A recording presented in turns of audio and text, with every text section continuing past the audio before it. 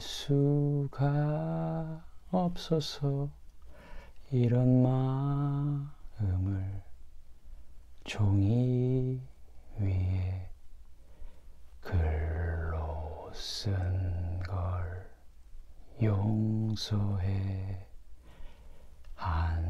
한참을 그대에게 겁이 날 만큼 미쳤었지. 그런 내 모습. 이제는 후회할지 몰라. 하지만 그대여 다른 건다 잊어도 이것만은 기억했으면 좋겠어.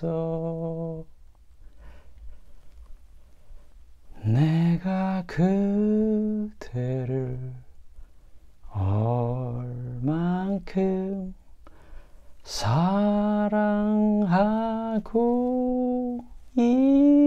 지를